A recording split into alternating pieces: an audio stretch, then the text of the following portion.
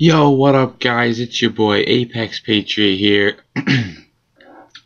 Late at night on that grind, 3:36 a.m. Eastern Time, 2/21/2016. It's a Sunday morning. Um, I am starting the Dark Matter quest right here. I'm gonna show you the guns I have golden. Um, the KN44 I have golden and the Argus, just for laughs, I have golden. I'm going to show you my stats with all of them right now, with every gun right now. I'm going to bring you through a few of the guns that I'm close with, and then from here on out, I am going to um, show you my highlights with that gun, and then the game I got golden for that gun. So this is the start of the Dark Matter quest. Hopefully we, we will achieve it before the next Call of Duty comes out. That is my goal.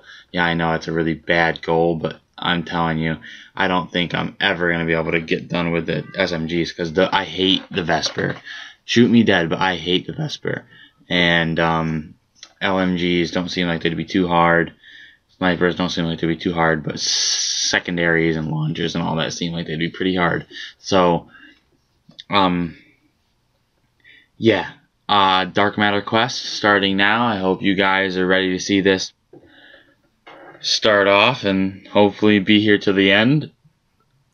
Well, um, I guess that's really all the explaining I can do. I'll just let the video do the rest.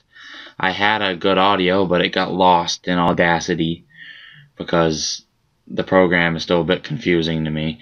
So, it's been the man, your man, Apex Patriot here, signing off. I hope you enjoy the info that this gives you, and you can see how far I am now, and then we'll reflect upon it once we hit dark matter. So it's been your man Apex Patriot here signing off. I hope you enjoy.